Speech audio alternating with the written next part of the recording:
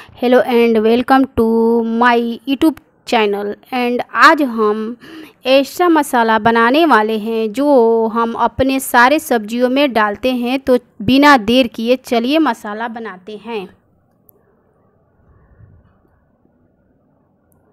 मसाला बनाने के लिए मैंने 100 ग्राम जीरा ले लिए हैं।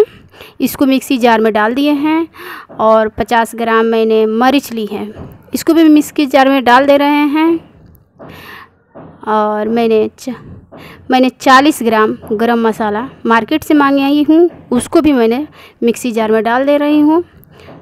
और ये तीनों को मिक्स करके मैंने ढक्कन लगा दे रही हूँ। अब मैं मिक्स, मिक्सी ऑन कर रही हूँ। और चलिए इसको एक मिनट के लिए पीस कर दिखाती हूँ।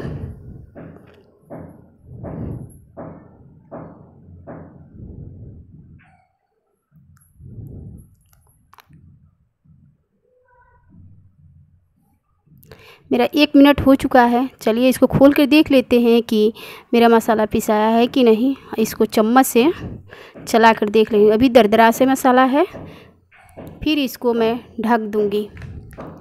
और ढक कर फिर मैं चलाते हुए पीसूँगी। एक मिनट के लिए पीस के फिर मैं आपको दिखाती हूँ कि मेरा मसाला पिसा हुआ है कि नहीं।